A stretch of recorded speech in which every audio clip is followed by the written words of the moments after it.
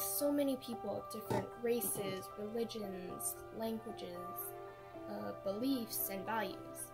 And sometimes these differences blind us, and we forget that at the end of the day, we are also human. Um, cultural exchange allows us as people to look at each other with a new perspective. So rather than setting our differences aside, we find beauty in them instead. It's about understanding and accepting each other so that we can make changes and build a community where our diversity actually brings us together.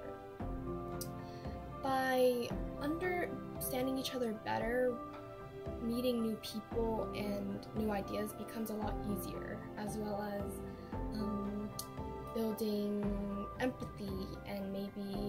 rejecting stereotypes. Cultural exchange is an opportunity for us to educate ourselves and realize that we don't all have to be the same.